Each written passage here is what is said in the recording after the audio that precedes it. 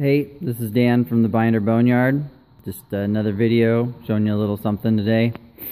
My 1970 Travelette converted to electronic ignition.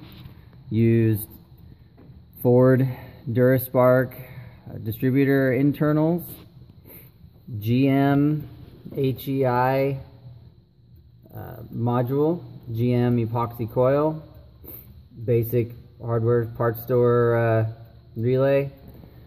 Relay is triggered by the original coil wire, but now it's pulling full 12 right off the battery. Got her timed at 7 after, or 7 before top dead. And uh, she's going to fire right up. She's warm, timing set from after being warm. Just like that. Idle's about 600.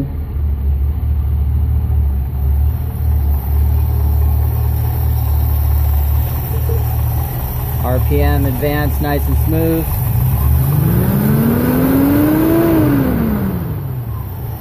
Timing, timing goes from about 7 to about 27 on the light. So yeah, I'd say it's success. Next up is to fix the uh, super trick uh, aluminum foil uh, heat shield. So yeah, thanks for thanks for watching and uh, show you some more upgrades later.